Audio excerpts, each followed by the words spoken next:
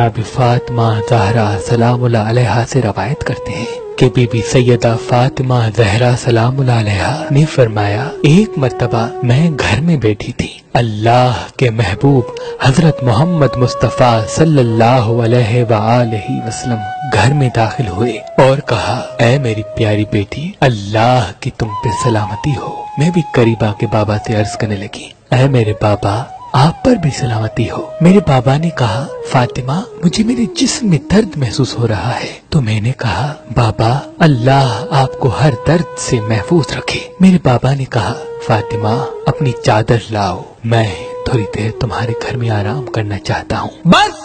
اللہ کے محبوب، حضرت محمد مصطفیٰ صلی اللہ علیہ وآلہ وسلم، اس چادر کے نیچے آرام فرما رہے تھے۔ میں نے دیکھا بابا کے چہرے سے نور آیا ہے اور گھر میں رحمت ہی رحمت برس رہی ہے۔ ابھی تھوڑا ہی وقت گزرا کہ اتنی دیر میں میرے بڑے بیٹے حسن ابن علی تشریف فرما ہوئے اور کہا، سلامتی ہو آپ پر۔ اے ہماری ماں، میں نے کہا، تم پر بھی سلامتی ہو جنت کے جوانوں کے سردار۔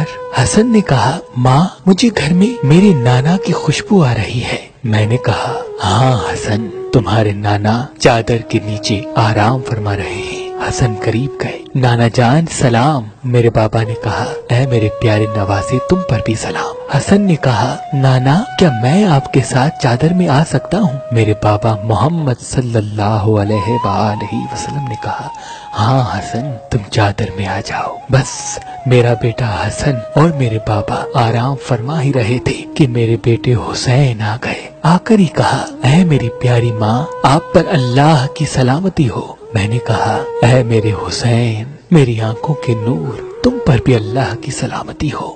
حسین نے کہا، ماں، مجھے میرے نانا کی خوشبو آ رہی ہے. میں نے مسکرا کے کہا ہاں ہاں حسین، تمہارے نانا اور تمہارے بڑے بھائی حسن چادر کے نیچے آرام فرما رہے ہیں۔ حسین دوڑتے ہوئے گئے اور کہا، نانا، کیا مجھے اجازت ہے میں چادر میں آ جاؤں؟ تو میرے بابا نے کہا ہاں حسین، تم آ جاؤ۔ بس، میرے بابا اور حسن و حسین آرام فرما ہی رہے تھے کہ اتنی دیر میں اللہ کے ولی علی ابن ابی طالب علیہ السلام آ گئے اور آ کر ہی کہا، اے رسول اللہ کی بیٹی، تم پر سلام ہو۔ میں نے مسکرا کے کہا، اے اللہ کے گھر میں پیدا ہونے والے شیر خدا، آپ پر بھی سلام ہو۔ علی نے کہا، فاطمہ، مجھے میرے بھائی محمد صلی اللہ علیہ وآلہ وسلم کی خوشبو آ رہی ہے۔ میں نے کہا ہاں حسنین کے بابا، اللہ کے رسول میرے بابا اور آپ کے فرزند چادر کے نیچے آرام فرما رہے ہیں۔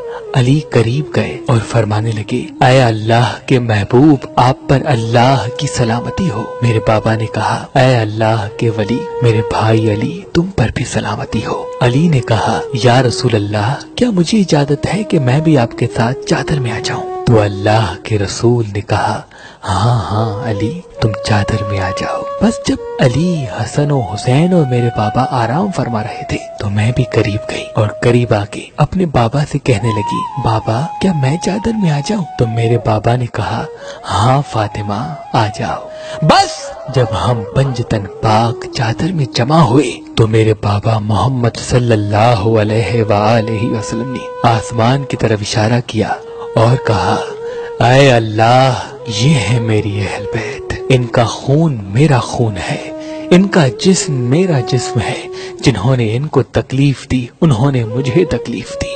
جنہوں نے ان کو ستایا، اس نے مجھ محمد کو ستایا۔ جو ان کے دوست ہیں، اے اللہ، وہ میرے دوست ہیں۔ کیونکہ یہ مجھ سے ہیں اور میں ان سے ہوں۔ اے میرے اللہ ان سے ہر قسم کی نجازت کو دور کر دے اور اتنا پاک رکھ جتنا ان کو پاک رکھنے کا حق ہے۔ بس!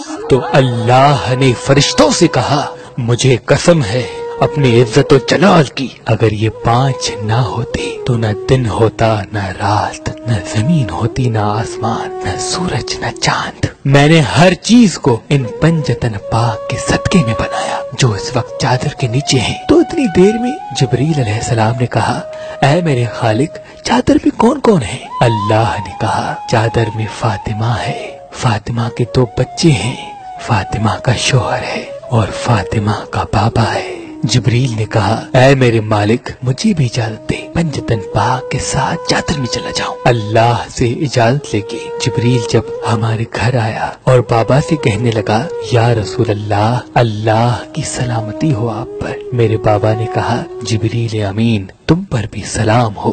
جبریل نے کہا، اللہ فرماتے ہیں کہ میں زمین و آسمان کو نہ بناتا، چاند و سورج کو نہ بناتا، اگر یہ پنجتن پاک نہ ہوتے، یا رسول اللہ، مجھے بھی اجازت دیں کہ میں بھی آپ کے ساتھ چادر میں آ جاؤں۔ تو میرے بابا نے کہا، جبریل، آ جاؤ۔ بس۔